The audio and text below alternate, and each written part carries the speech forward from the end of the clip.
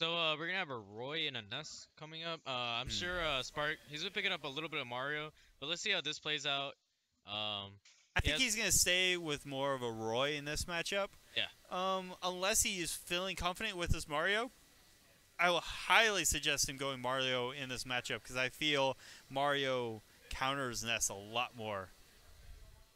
Mario counters uh, Ness. Yes, Okay, yeah. in my opinion. Setting up.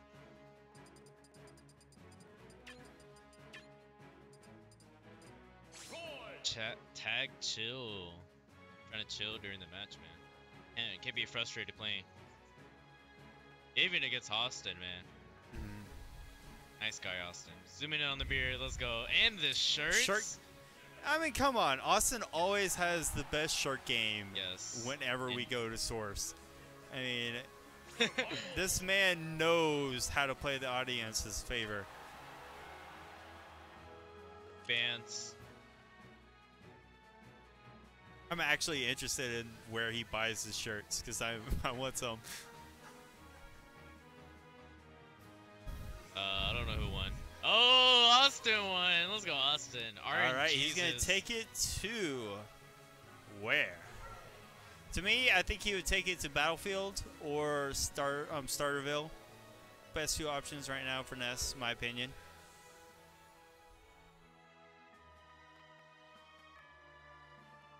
Just all depends on who, I mean, who Spark decides to ban.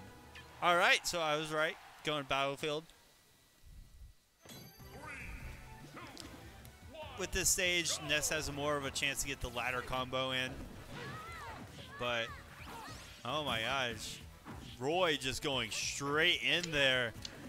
He wants to be our boy today. Oh my gosh. Oh, he's so scared today getting these ledge guards. He doesn't want to go too far in, especially against a human torpedo like that. That's a very dangerous situation that can turn around so easily for Awestin. Punishes by Awestin is actually really doing good, man. He's actually winning a lot of nature base, sending uh, Pretty evenly right now. Yeah. Keeping up with Spark, dude. Igniting the flame. Awestin is setting up so many combos combos with his Nair right now. Oh, very nicely done with just enough spacing so he can grab ledge without using the um, P- PK Thunder. Oh, Catching him with the up smash. We've done some damage, but let's see what he does. if that yo-yo was just a bit longer, he would have taken the kill. But the dash attack will. Oh, he wanted um, Roy to go in right there so you can use the falling up air. And uh, we'll just go back throw, boys. Back throw, boys. Come on. Oh, nicely done with the DI to get out of that throw. But Awestin's not going to let him live. He wants that damage on right now. Oh. Oh, didn't want to go a little too far for the Gimp. Oh, getting a two frame right there, but not going to do much. Give the trail. He is not letting him get back. him- A lot of percent, and that's gonna be the ultimate. Nicely done, catching him with the PK Thunder, leading straight to the bat. Honestly, uh, Home run! Honestly, Spark's a little frustrated about that. Unfortunately, he tries to go in, but gets punished for a lot of time, racking up a lot of damage, up to 60%, and Awestin was able to take it with the bat. Mm. All the way home, man. Oh my gosh, it just that um, PK Thunder made him land straight on the stage with lag getting up. So that was just a free forward smash for Awestin. Howden City, uh, this could be a good pick for uh, Spark. Let's see what he can do to uh, take up to this game. Maybe take it to game three, man. But hon honestly, Awestin's doing the optimal punishes by Ness. Back air out of shield, nair out of shield. It, just Oh. changing the way Nicely set up with the PK. Fire.